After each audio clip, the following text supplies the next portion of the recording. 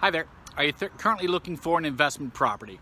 This is Patrick at the Schwier Real Estate Group in Remax. I'm out in front of our newest listing we're proud to announce. It's on Glassell in downtown Orange, literally three blocks away from Chapman University in downtown Orange in the downtown circle. This is a two bedroom, one bath, and we got two studios in the back. As you can see, the two bedroom is landscaped very nicely. Uh, it's got it's fairly original. It's got original wood floorings, but however, the bathroom and the kitchen have been upgraded. And then the back here, we've got two studios which are renting out for 1400 and 1450.